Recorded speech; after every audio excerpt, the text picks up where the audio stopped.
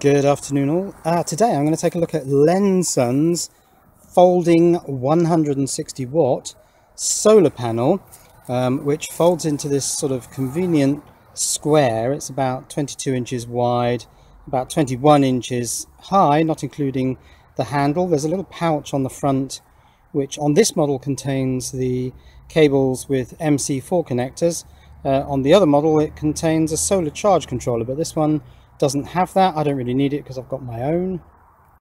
So it's very compact because it's very uh, thin. So that's the full uh, 160 watts of the folding solar panel. You can see that um, the form factor when it's folded up is quite compact, especially if you compare it with those two solar panels, which are 80 watts each. So you'd have to carry uh, those two to get the equivalent 160 watts. Okay, let's check some of the um, spec by doing some voltage and current measuring tests. So there it is with the four supports out. Um, you can see that it's uh, angled up pretty much towards the sun and uh, if I come down here you'll be able to see these supports. They're just a sort of rigid arm with a strap to stop it slipping back and there are four of those. Right, I've hooked up the uh, DMM using these MC4 connectors and I'm getting uh, 20.75 so a little below the 21.24 um, that the website says. Now let's try uh, short circuit current. So for this I've just folded the outer two panels over the inner two so that it's pretty much closed off because I am going to short the two MC4 connectors together. So if I can get them out of the meter yes I'm going to plug the positive one into the negative one. I can't do that one-handed. I'll uh, come back in a second. Right those are shorted together. Let's now uh, get the meter. It's on DC amps. Let's just zero that out and put that around the cable so that I can measure the short circuit current when I unfold these panels again Right, I'm getting 7.2 amps. Now there are a couple of things. Uh, firstly, it's not uh, June the 21st, it's actually uh, September the 20 something, so we're halfway between, well we're nearly at the um, equinox. There are a couple of slight shadows on here which are actually um, untrimmed next door neighbour's hedge so it's not an entirely I could cut those off but um, that's not going to make a huge difference. But yeah we're certainly down on current um, because we're not getting full strength sun. The sun is out but this is a late September sun. So now I'm going to rig up um, a system with some batteries and a solar charge controller an MPPT solar charge controller uh, because I want to see how many watts I can get out of these solar panels um, in these slightly less than ideal conditions, but uh, we do want to see how much power this panel can develop. Right, here's my setup. I've got the uh, Lensun foldable solar panel uh, with no shadows on it, just the shadow of this garden solar light is just clipping the edge of the panel, but it's not actually on uh, the solar cells. I didn't think of the positioning of this panel very well, I'm afraid. Right, down here round the back, I've got two lead acid batteries in series. There's a strap up at the far end there. Um, that's because this solar charge controller, which um, is MPPT, it's the MPT7210A, um, is a step up, it's a boost charge controller. So I need to boost the approximately 18 volts coming from the solar panels um, I think I've set it to um, try to regulate to 17 and a half to maximize power. Um, this does a step up, so we need a battery voltage that's higher than the solar panel voltage. Now I've got a couple of um, car headlight bulbs, they're H4s, strapped across the batteries in series, because they're only 12 volt bulbs. So that's drawing 100 watts off the batteries, because they're fully charged, these batteries, which isn't very uh, good if you're trying to test the maximum power output of a solar panel. So I'm just discharging those a little bit and then we'll run a test and see how many watts, if I can see the display on this thing, see how many watts we can get out of this uh, solar charge controller. Now I also have a separate ammeter here because this device shows you um, the power going into the battery but of course that's happening at around 24 volts. Um, it shows us the volts, the amps and the watts going into the battery. That's really strobing badly isn't it? Um, this ammeter, and I've zeroed it out, is going to show the current coming from the solar panel which is going to be higher because it's happening at a lower voltage um, that current is going to be at 17.5 volts. The current here is going to be at the battery voltage, which is 24 volts. But let's switch on the charge controller and see what we get.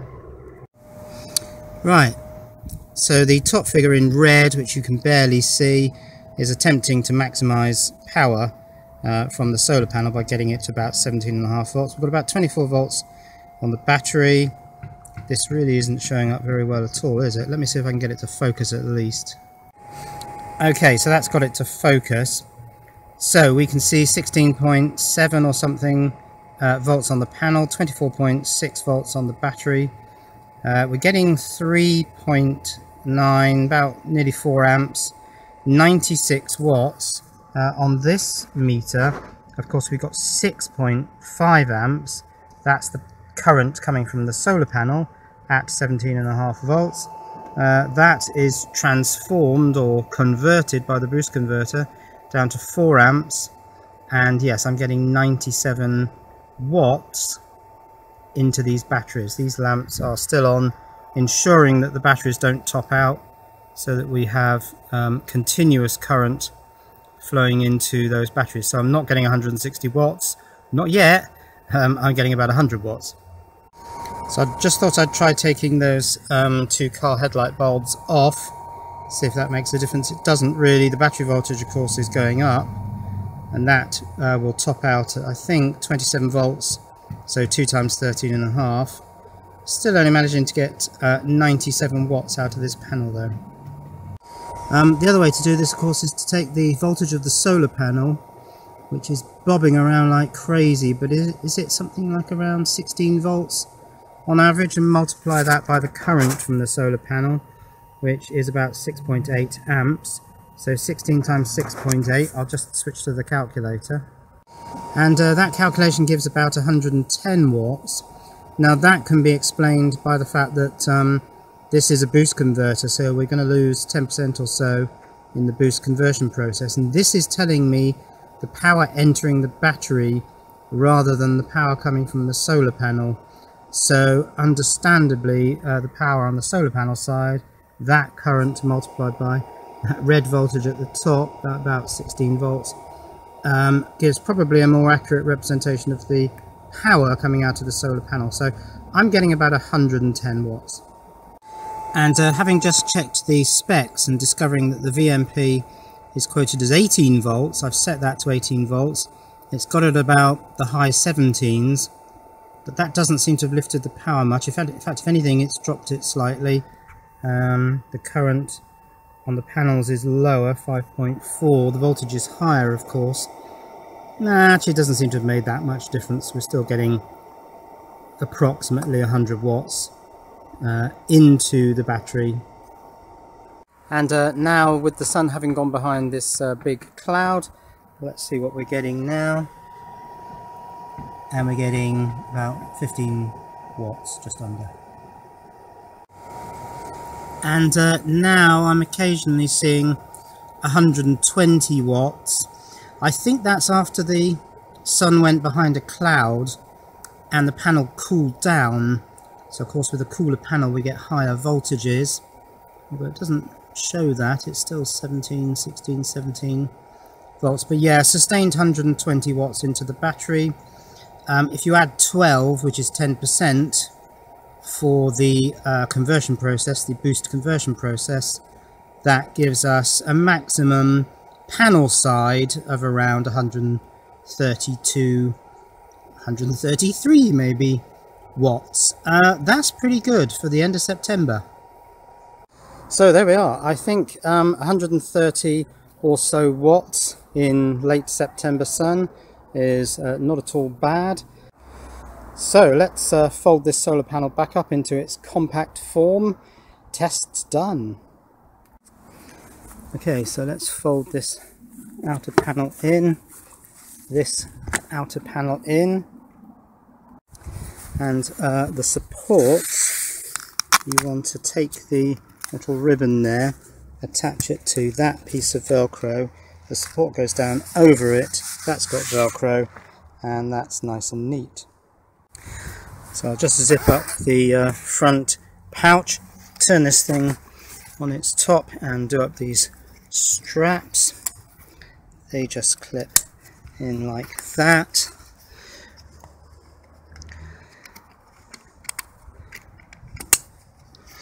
And uh, then we just uh, attach the handle strap and uh, close that one up. And that's it. Back in its compact form.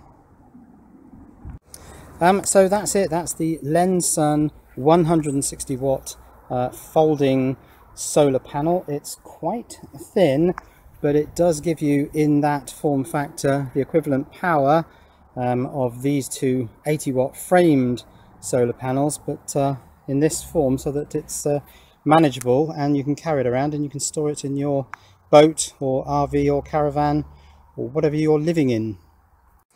And uh, from what I can see it uh, mostly measures up to the specs uh, especially considering that uh, I've done these tests in late September and we are at UK latitude which is high enough up for me. Ah yes and right on cue there goes the sun. Cheerio.